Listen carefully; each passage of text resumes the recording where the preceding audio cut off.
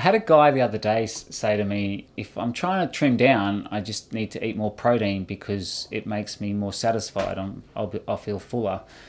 Now, there's a to think that a, one nutrient can make you feel fuller and therefore you'll eat less and lose weight is, I think, you're completely missing what what's important about nutrition and food.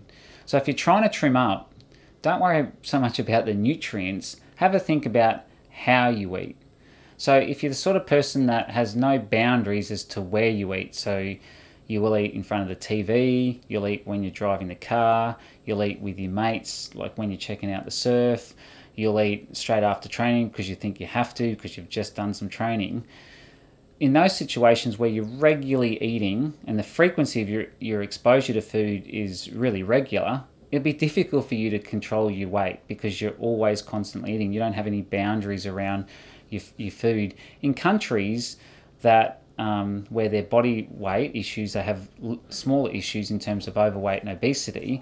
One of the things that they do find about those countries is that they have boundaries around where, where they eat, for instance. So in Japan, for instance, they'll eat, they won't eat in public, they'll eat like with their colleagues at work or they'll eat at home at the at the table, but they tend not to eat as they're casually engaging with people or if they're watching the TV.